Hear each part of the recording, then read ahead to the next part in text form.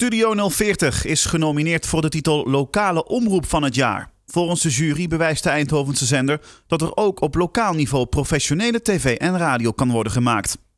Na Studio 040 zijn nog acht omroepen kans hebben voor de prijs. Ook Omroep Venlo, Oog uit Groningen, TV Enschede en Nijmegen 1 staan op het nominatielijstje. Op 15 juni wordt de winnaar bekendgemaakt.